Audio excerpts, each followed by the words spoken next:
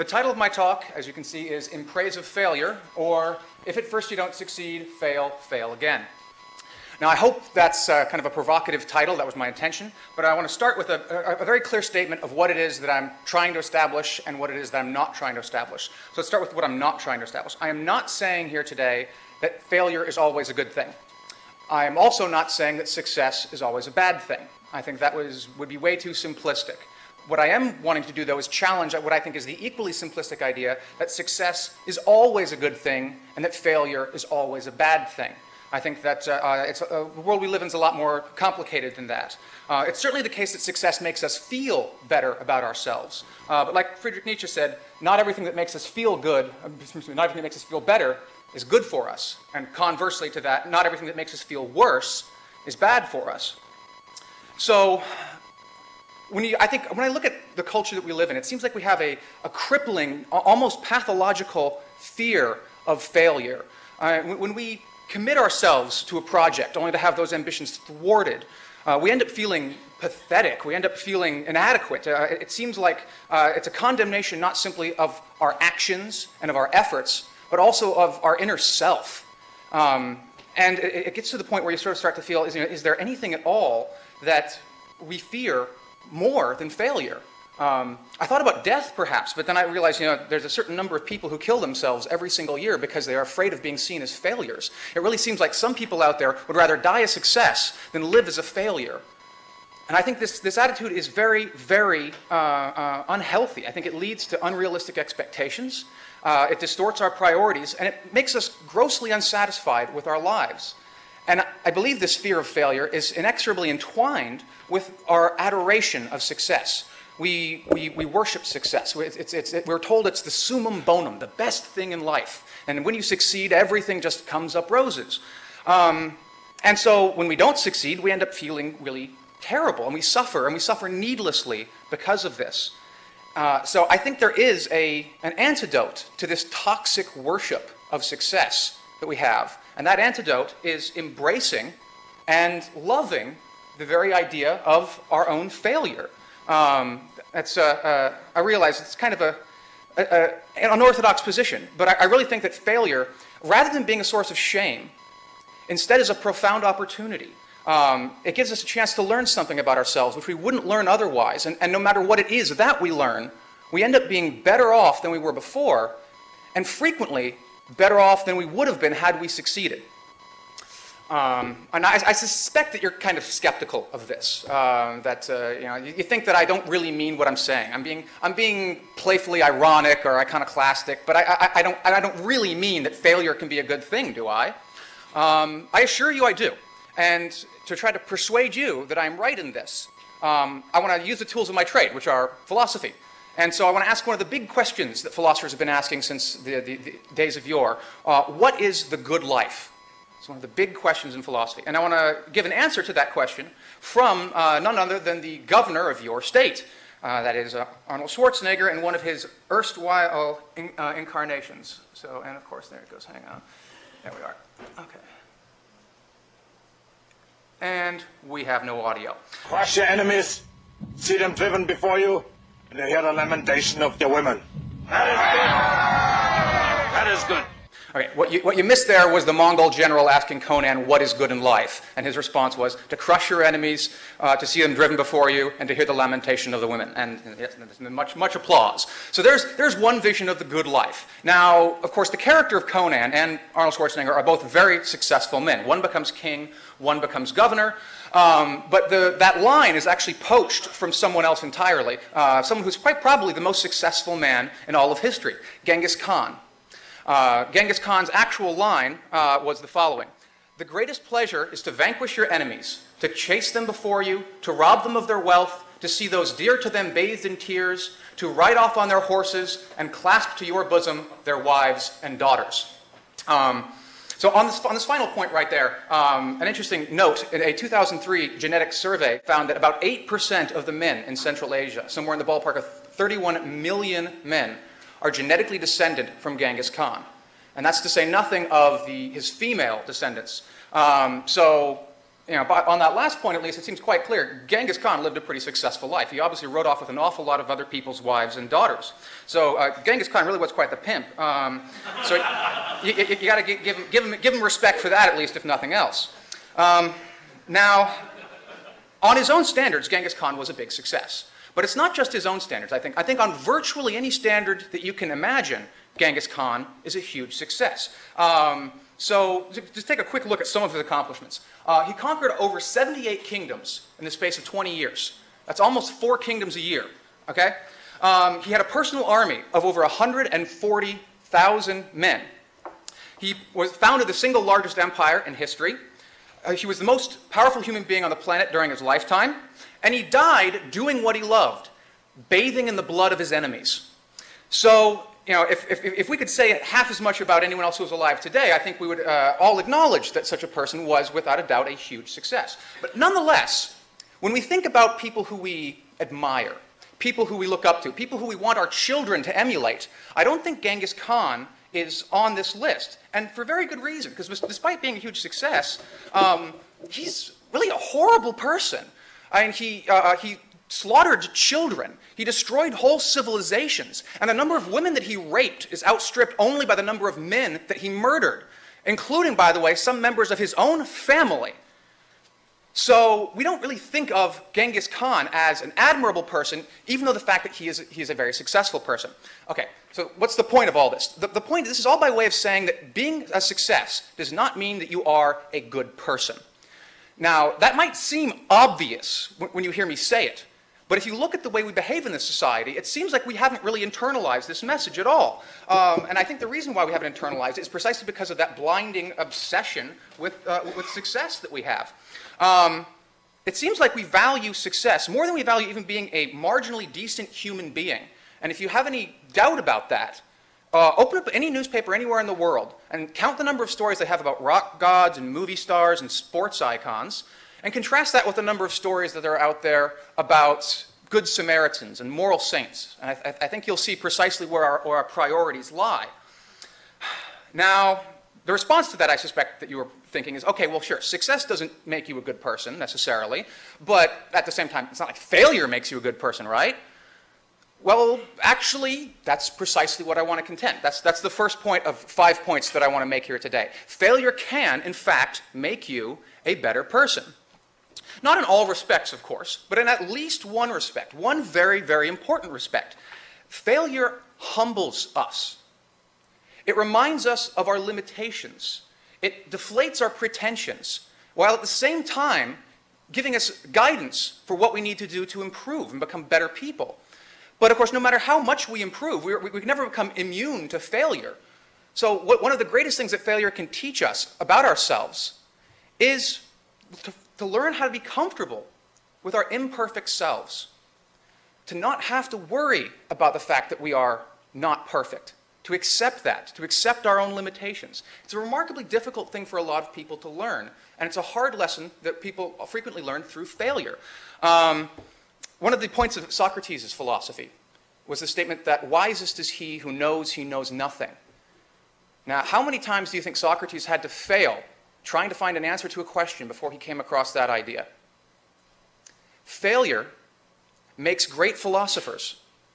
It makes great scientists. It makes great artists. It makes great human beings.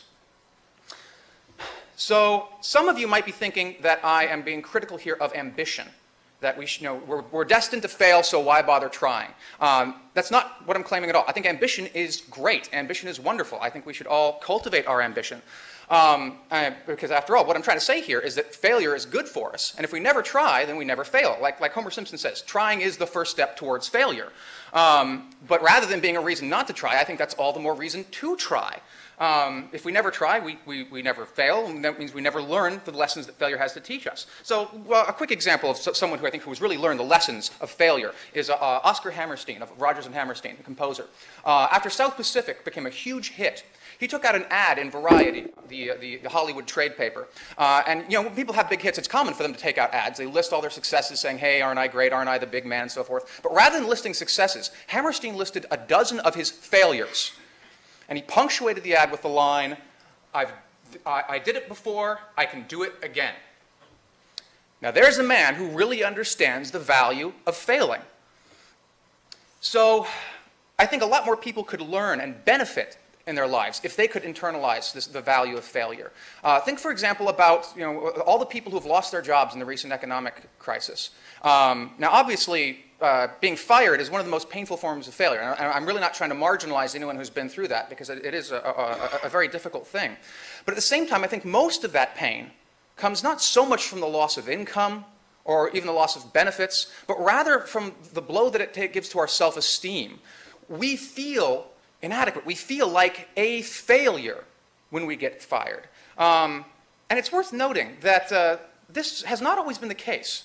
This attitude is a decidedly fairly recent development. Up until the 18th century, the word failure was pretty much always reserved for businesses and enterprises. And even when it started to be applied to individuals, it was something that someone did or something that, some, that happened to someone. It wasn't something that someone is. It wasn't a, a mark of personal identity that you were a failure. Um, it was uh, really the, the, 19th century, in 19th century America, where ideas like meritocracy and social Darwinism started to come to the forefront, uh, that that started to shift. And suddenly we started thinking of failure as something that people were rather than something that people did. So the second point I want to make then is that failure can be a profound source of insight. And I want to illustrate this by telling a story about a man who got fired. Uh, he was a Massachusetts civil servant.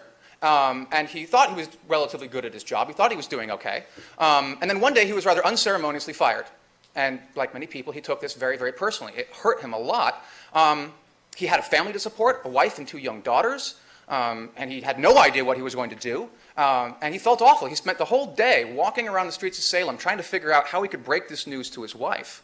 And so finally, when he came home late at night, his, his wife was, was very distressed because he was coming home later than usual. She didn't know what was wrong. So, head hung low and in, with shame, he said, Honey, I was fired today.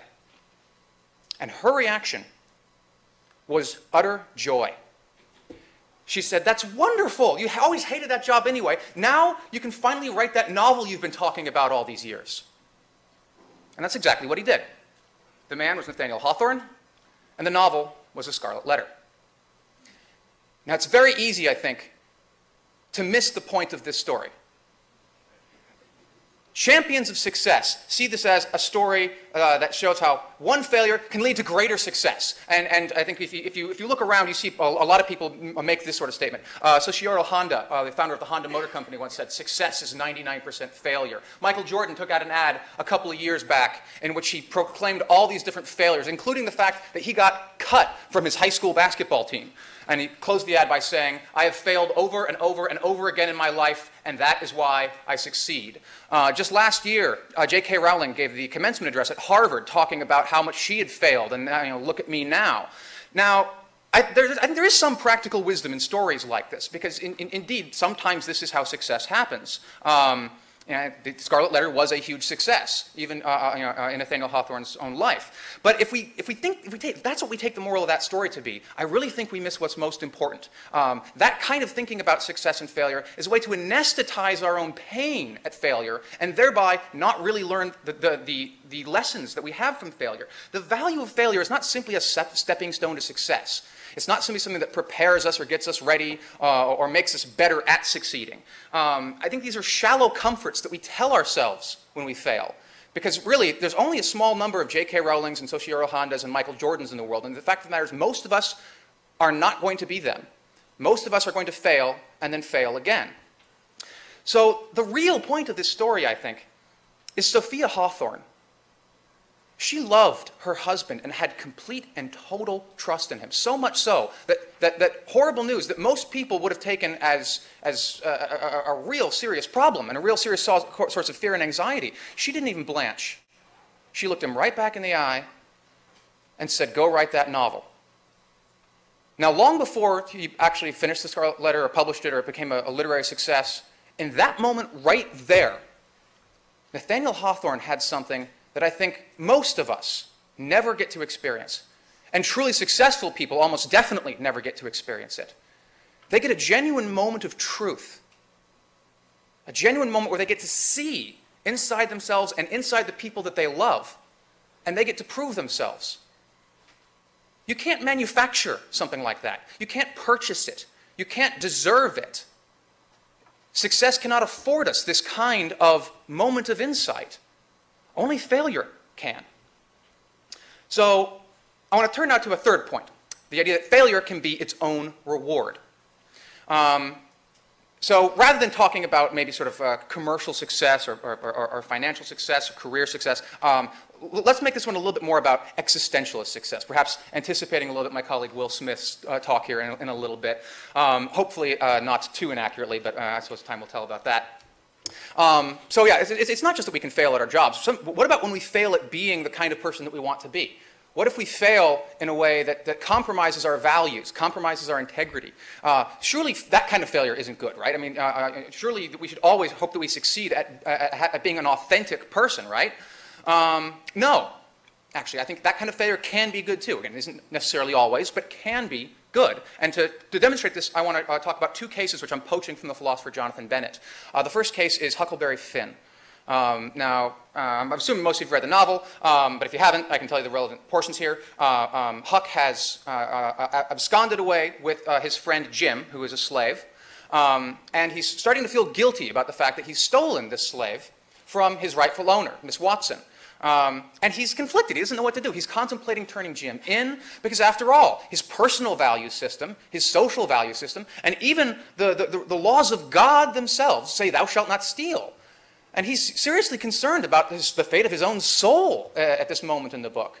Um, he doesn't know what to do. He wrestles with it, but then finally he decides, you know what? I'm going to violate my own principles. And he says, all right then, I'll go to hell.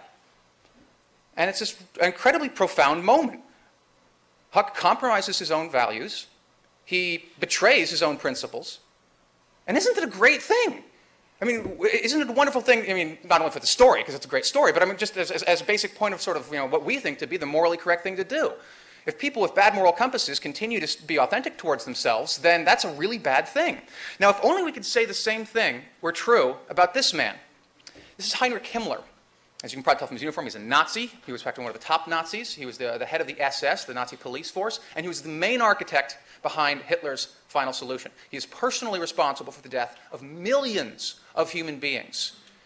But the strange thing is, is that when you look at his diaries, he actually felt conflicted about what he was doing. I mean, there was, a, there was a part of him that said, you know, I don't know if this is the right thing. I'm killing millions of innocent people. But at the same time, he also said, you know, uh, uh, this is who I am. I'm a Nazi. I'm committed to this. This is the right thing. Uh, his, his, again, his personal values, his social values, and he thought even the values of God himself committed him to this action. But unlike Huckleberry Finn, Himmler did not choose to compromise his own values. He stayed true to them and millions of innocent human beings paid the price. Wouldn't it have been a fantastic thing had Himmler failed to be such an authentic Nazi?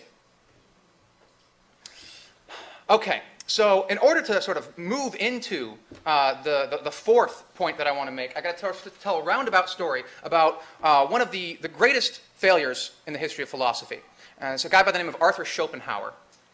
Now, Schopenhauer was a 19th century German philosopher, um, and one of the things he's most famous for is he's one of the first people to fuse uh, Eastern philosophy and Western philosophy together.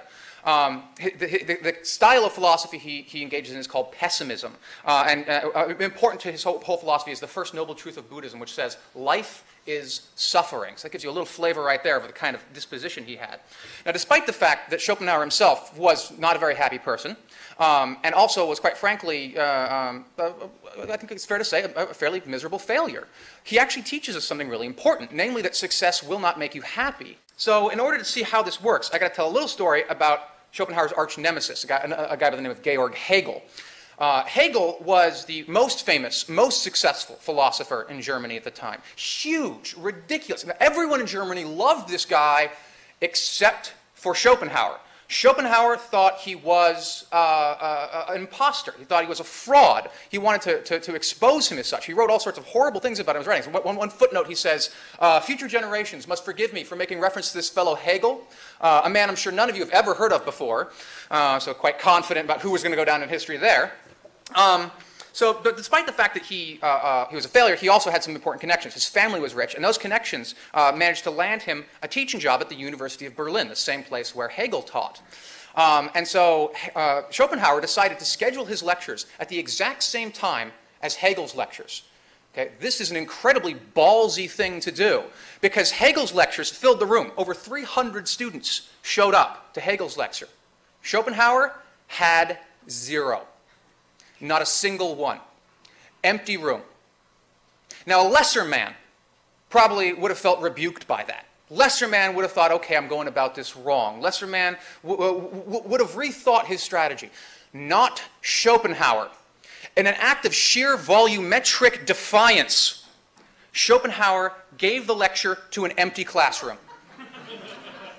now, there is a man who truly knows how to fail. If you're going to go down, go down swinging. He was fired the next year, by the way. Uh, and he spent the rest of his life struggling uh, as an obscure philosopher, uh, getting virtually no recognition at all. It wasn't really until the very end of his life and then after his death that he finally uh, arose to prominence. Uh, so, the, the, the beauty of Schopenhauer's failure is that it made him one of the most distinctive thinkers in history. Had Schopenhauer been an outrageous success from the beginning, the character of his thought would have been very, very different, and quite frankly, probably a lot less interesting. Probably would have been boring what makes Schopenhauer such an incredible person to read and to think about is that despite this incredibly dark, sardonic attitude that he takes at every single step of the way, uh, reading him is not only very, very liberating and empowering, it's also ridiculously funny. It makes you laugh at how preposterous and absurd life is. Uh, so, you know, for example, here's a nice graphic that I think always illustrates Schopenhauer's point rather well. Pessimism. Every dark cloud has a silver lining but lightning kills hundreds of people each year who are trying to find it. That's about as Schopenhauerian as a sentiment as I know how to, how to muster. I, think, I don't think Schopenhauer could have said it himself uh, better. So, the takeaway, I think, of what it is that, that, that Schopenhauer is, is trying to, to uh, has to teach us is that failure made him an amazing human being. Failure made him uh, stand out from a bunch of ordinary, bland, banal thinkers that populated the 19th century, 19th century German landscape uh, and made him someone who will, will echo throughout history. Now, you might say, isn't that a form of success? And, well, you're being too smart for your own good if you do so say that. Okay, um, so Schopenhauer did more than just diagnose the misery at the heart of the human condition. He did more than just embody the misery. He gave us tools to cope with it. He gave us advice on how to respond to all the suffering that we see everywhere in life, including, of course, failure. So, yeah, you failed, but so does everyone. Everyone fails. So, you know, every, every time you see, like, you know, that, the, the, guy that just landed your dream job, or, or, or, who just got that promotion that you were gunning for, or, or, or the rock star with a, with a supermodel actress, it's easy to start feeling overcome with feelings of envy and self pity. What corrosive emotions these are. Schopenhauer is giving us a way to let those go because you recognize every time you see one of these people, every single one of them will fail at something profound in their life at some point. They may be on top of the world now, but before long they will move on to something else. This is what Schopenhauer says. You can never be truly satisfied for a, a long period of time in your life because anytime you get what you want, you're happy for a short while, and then you move on to wanting something else. And next time around, you might not get what you want. But even if you do, you really won't be happy with it. You won't ever be happy with it. So recognize that these people are all failures, just like you. And so that's, that, that, that's the fourth point. In failure, there is solidarity. We are all unified by our failures. So, so think about those people's failures, not, not to revel in the fact that they're their inevitable downfall, with some sort of schadenfreuditastic kind of uh, uh, loathing, but rather to see in them a kindred spirit to see in them a fellow failure. And that's really just the, the, the fantastic, potent cure for envy and self pity, is, is, the recognition that we're all failing together. Um, J.M. Barrie, the author of Peter Pan, once said, We are all failures, at least the best of us are. I think Schopenhauer would agree. When we fail, we find ourselves united with all of humanity. All right, fifth and final point. Uh, failure can make you invincible. Now, this one I think might sound the strangest at the outset. So, uh, in order to, to, introduce it, I want to turn to this fairly famous painting, which I'm sure most of you are familiar with. This is uh, Raphael's School of Athens. Now, when, when, you, uh, when, there's a lot of people here, obviously, but when you first look at it, you know, again, the, the, the, the, lines obviously draw your attention to these two figures right here in the center. That's Plato and Aristotle, the founders of Western philosophy, um, obviously sort of the most prominent intellects uh, on the stage here. But after your eyes settle on them, where do they go next? You know, w- w- so trace your eyes, see where your eyes naturally are inclined to go next. I think the large amount of negative space around this figure right here is, it, it, uh, makes us go right to him next. So who is this person that Raphael seems to place second only to Plato and Aristotle themselves? Uh, well, this is Diogenes of Sinope. And Diogenes is probably the greatest failure in the history of philosophy. Uh, he is uh, a bum, quite literally.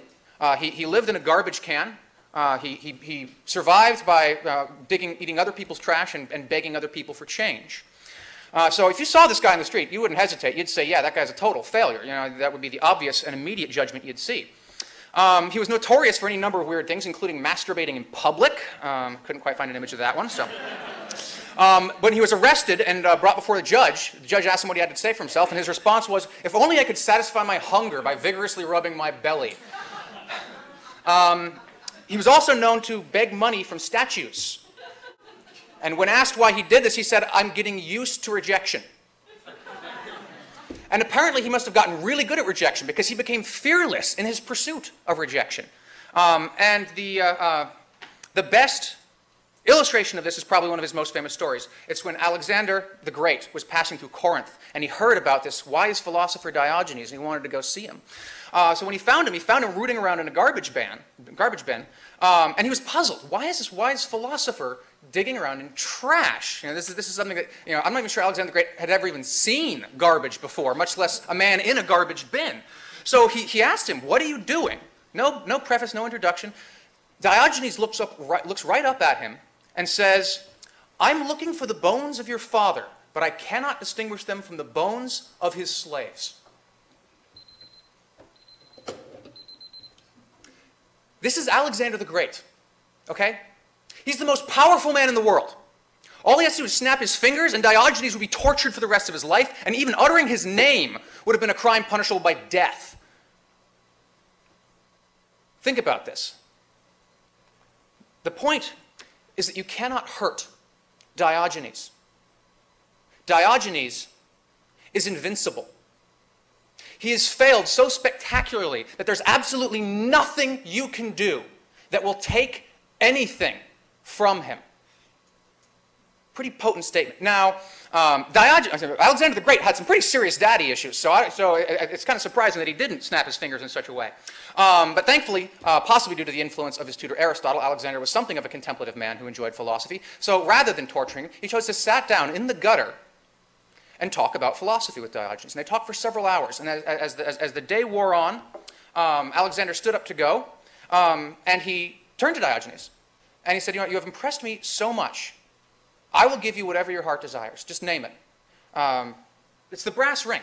Diogenes can, can say anything money, land, power, women. It's all his. Diogenes is perilously close to success at this moment, okay?